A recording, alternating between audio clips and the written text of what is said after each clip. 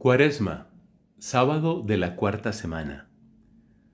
Continuamos nuestra lectura de fragmentos de la Guía de Pecadores de Fray Luis de Granada. Estamos en el capítulo número 20 de la segunda parte del libro primero. El autor viene hablando sobre todo lo bueno que trae la virtud y ahora nos va a comentar sobre el bien de sabernos escuchados por Dios. Pues este es uno de los mayores privilegios que tienen los amadores de la virtud en esta vida.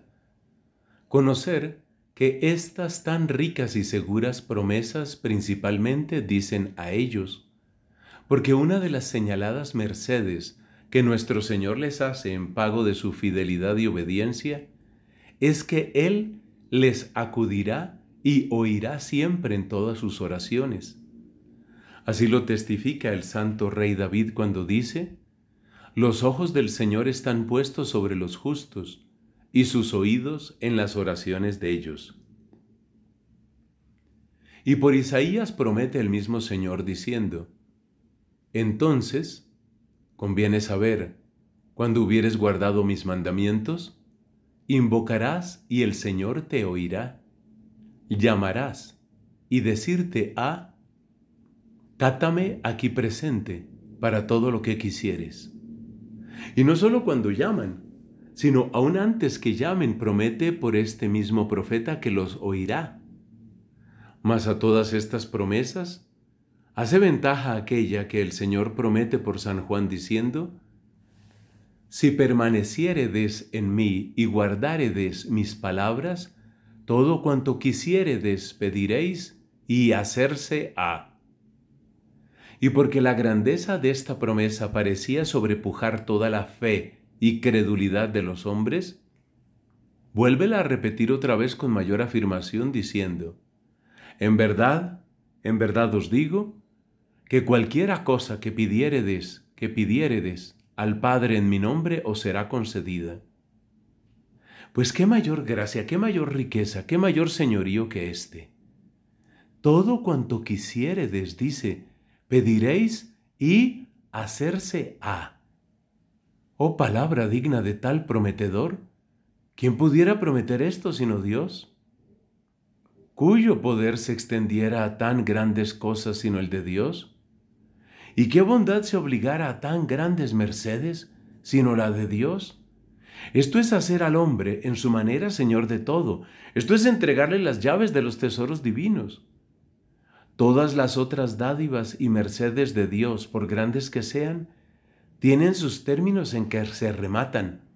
Mas esta, entre todas, como dádiva real del Señor infinito, tiene consigo esta manera de infinidad porque no determina esto o aquello, sino todo lo que vosotros quisiéredes, siendo cosa conveniente para vuestra salud.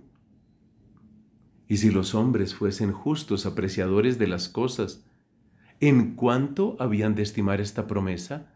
¿En cuánto estimaría un hombre tener tanta gracia y cabida con un rey que hiciese de él todo lo que quisiese?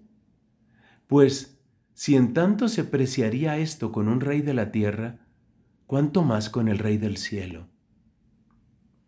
Y porque no pienses que esto es decir y no hacer, pon los ojos en las vidas de los santos y mira cuántas y cuán grandes cosas acabaron con la oración. ¿Qué hizo Moisés en Egipto y en todo aquel camino del desierto con la oración? ¿Qué no acabaron, es decir, llevaron a término? Elías y Eliseo, su discípulo, con oración. ¿Qué milagros no hicieron los apóstoles? Con oración. Con esta arma pelearon los santos, con esta vencieron a los demonios, con esta triunfaron del mundo, con esta se enseñorearon de la naturaleza, con esta volvieron en rocío templado las llamas de fuego, con esta aplacaron y amansaron la hazaña de Dios y alcanzaron de él todo lo que quisieron. De nuestro Padre Santo Domingo se escribe haber descubierto a un grande amigo suyo, que ninguna cosa había pedido a nuestro Señor que no la hubiese alcanzado. Y como el amigo le respondiese, que pidiese a Dios para religioso de su orden al maestro Reginaldo, que era un famoso hombre en aquellos tiempos, el santo varón hizo aquella noche oración por él. Y otro día, por la mañana, comenzando el himno de prima, Iam lucis orto sidere, entró aquel nuevo lucero por el coro y echado a los pies del santo varón, le pidió humildemente el hábito de su orden. Este es, pues, el galardón prometido a la obediencia de los justos, que, pues ellos son tan fieles y obedientes a las voces de Dios, así también Dios lo sea en su manera a las voces de ellos.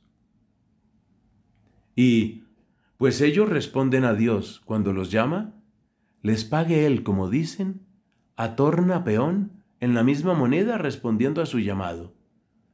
Y por esto dice Salomón que el varón obediente hablará vitorias, porque justo es que haga Dios la voluntad del hombre cuando el hombre hace la de Dios.